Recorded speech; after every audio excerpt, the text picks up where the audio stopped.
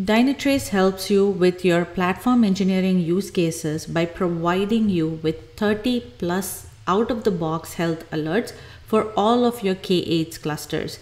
And no matter how many clusters do you have, all of this is located in a centralized repository in one hub, which can be used for ingesting, for visualizing, and for analyzing telemetry data from different layers of your Kubernetes stacks.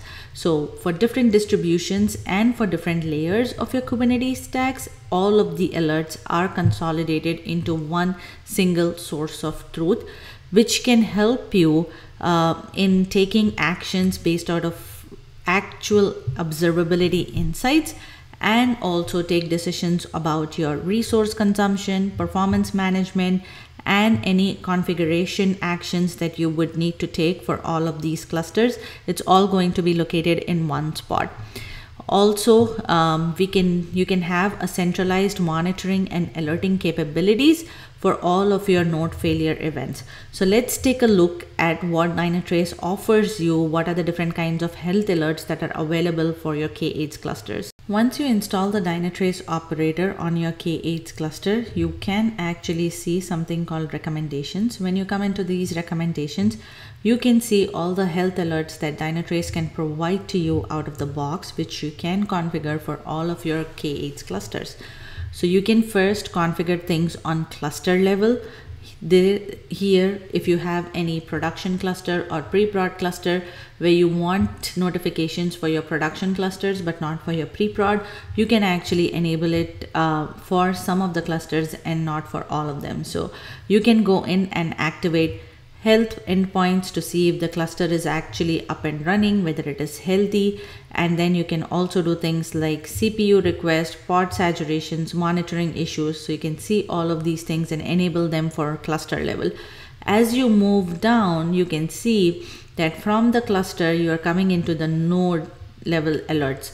So within the nodes, again, you have the same things, which is going to be if one node is saturated from CPU, if there is a memory saturation happening on any one of the nodes. So, or whether there is a readiness problem. So you can actually enable all of these alerts for your clusters, your nodes, and then of course within Kubernetes tech stack, namespaces are very important. You want to know if there is quota problems on your namespaces, if there is a memory request problem, if there is a pod saturation quota that is happening. All of those alerts, you can turn them on on different namespace levels or you can enable them for some namespaces, not all of them, but you can pick and choose. And then once you are done with your cluster node namespaces, you can come down to your workload level alerts as well.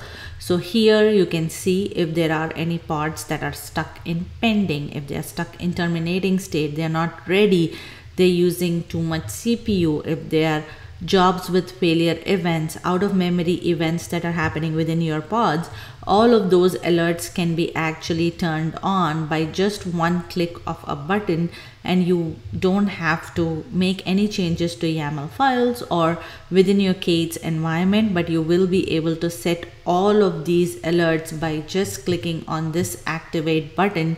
And here you can see um, anomaly detection settings you can turn on all of these different alerts and it will provide you with a way to actually configure them which says that alert me if there is at least one restart for how many minutes within the last 5 minutes or 10 minutes so depending on what SLAs you are trying to order or, or stick to within your environments you can actually create all of those alerts by clicking on these buttons once you have the Dynatrace operator installed within your K8s environment.